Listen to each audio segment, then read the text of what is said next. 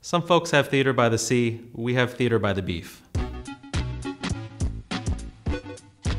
Long Wharf Theater is housed in a meatpacking district. It was supposed to be a temporary space for two to five years until they found their real space. It's been close to 48 years now and we're still there. It's a factory building and we are limited top to bottom, cement floor. There's no going down into traps. You can't go up, there's a ceiling, there's no fly system. There are two I-beams that come right down onto the stage. There's Unistrut to hang all of the lighting off of. There's no pipes. There's a meatpacking plant on one side and a printing press on the other, so there's no going left and right. Our theater is the size that it is and will always be. This has posed some interesting challenges to designers, which they all seem excited about doing. It keeps us on our toes because it gets us to come up with new and creative ways to deal with the ideas that they come up with. We have had to come together to create the magic that we do on our stage, and uh, I think that's why a lot of people really enjoy working at Long Wharf Theater.